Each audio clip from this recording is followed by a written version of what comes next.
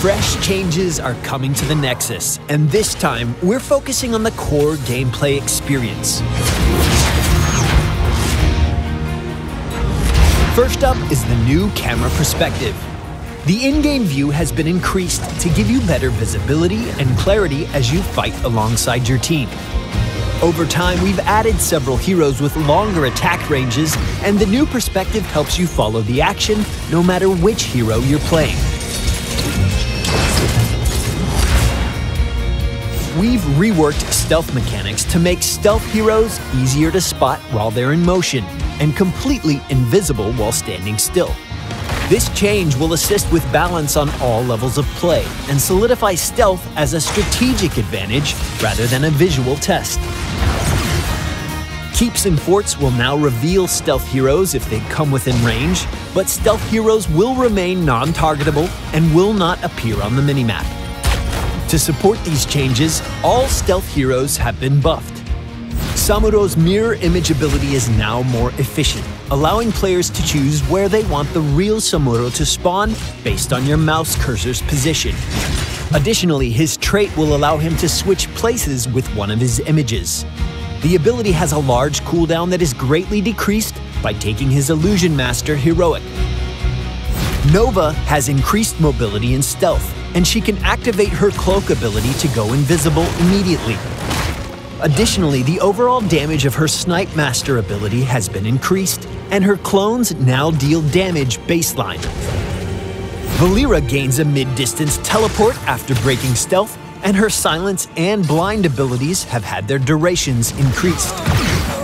Lastly, Zeratul has a new heroic ability, Might of the Nerazim, which allows him to duplicate the last ability he cast, but for less damage. His Vorpal Blade ability allows him to teleport to the last unit he struck with a basic attack for a short time. Another major focus has been ensuring that the early game is meaningful and engaging without increasing the overall match length.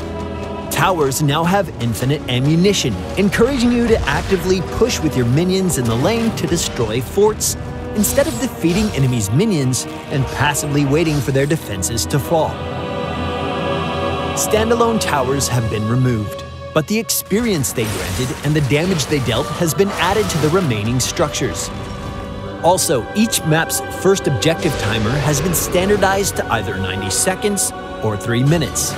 Both have a 30 second warning, so you have time to prepare.